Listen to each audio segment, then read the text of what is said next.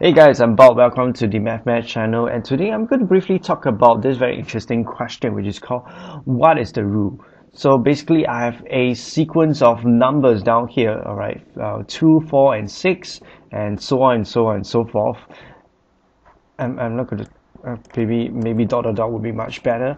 So the idea of it is to actually guess or to actually identify or find out what is the rule. So this is a very famous question, okay, adopted from this bestseller book.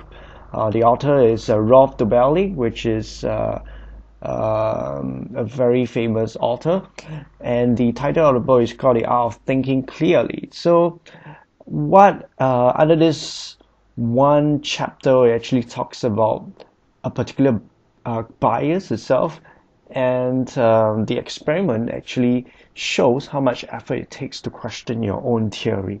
Alright, so basically, a particular professor actually asked the students about what is the rule given uh, the starting few numbers as 2, 4, and 6. So what happens is that the students actually reply or try to uh, sort of guess the rule by suggesting 8 as the next number Alright, and the professor replied that it fixed the rule. Um, and to be sure, the students went on to uh, try 10, 12, and 14. While the professor replies each time it fits the rule. Alright, uh, and then the students just concluded that um, the rule is to add two to the, last number. But unfortunately, the professor actually shook his head and says that this is not a rule. So the rule is not to add 2 to the last number. Well, so what is exactly the rule? So there's this particular student himself, uh, he actually tried a different approach. He actually asked whether negative 2, alright, is it, uh, does it fit the rule? So the professor actually says that it does not fit the rule. Alright, so negative 2 does not fit the rule. So, uh, and he went on to ask, does 7 fit the rule? So the professor actually replies that 7 actually fits the rule. So the question is, what exactly is the rule? Well, the answer to this question is just basically very simple is uh, the next number, alright, must be higher than the previous one.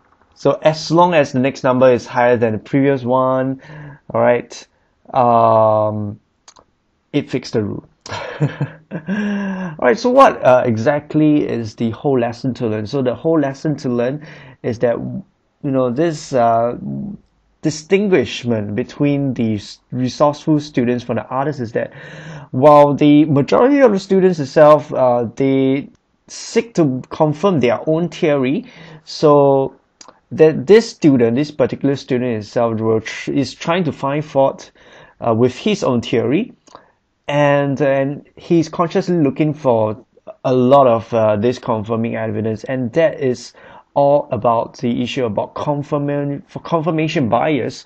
Uh, confirmation bias is basically uh, is the tendency to interpret new information so that it is very much compatible with your own existing beliefs about a certain uh, kind of uh, conviction, you know.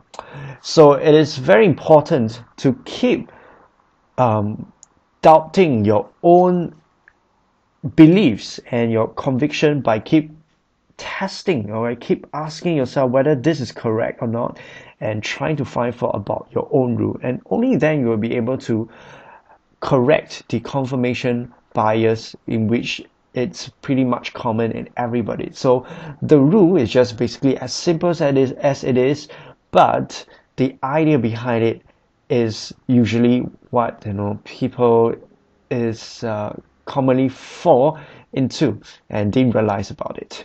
All right, so that's it for now. This is a bit about math, but a bit about you know thinking. Alright, so if you guys actually want to hear more very interesting videos, you can actually subscribe okay, to this channel and hopefully um, I will hear from you soon. Alright, so what is the rule? The rule is the next number must be higher than the previous number. I'm Bob signing off from here and